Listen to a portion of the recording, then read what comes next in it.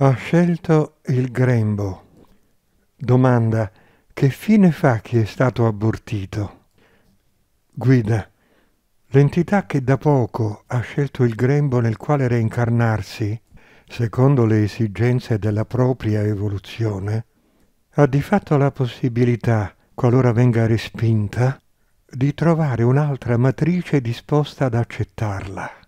Non solo, ma un'entità che non ha ancora iniziato un nuovo cammino, una nuova esperienza materiale, che potrà senz'altro fare altrove, e nel momento che riterrà per lei più idoneo. Il debito karmico in tal caso è senz'altro tutto a carico di chi glielo nega, di chi le nega l'opportunità di maturare, nascere e vivere.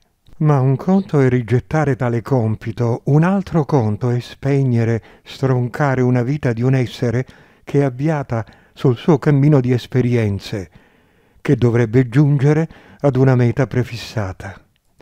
Vi porto un esempio esplicativo. Immaginate una strada contrassegnata dalla lettera A alla lettera Z e immaginate un viaggiatore che ancora prima di immettervisi la trovi sbarrata. Cosa farà quel viaggiatore? Ricercherà un'altra strada che lo conduca comunque dove ha deciso di recarsi, dove ha bisogno di recarsi, vero?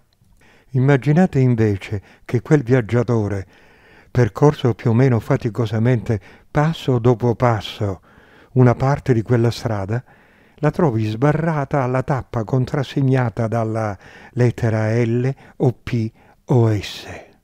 Non potendo giungere alla fine quindi, tutto il suo impegno, tutta la sua fatica risulteranno inutili e sarà necessariamente costretto a ricercare e ricominciare da un'altra strada. Mi auguro di essere stata esauriente, me lo auguro proprio, e vi lascio tutto il mio amore e tutte le mie benedizioni.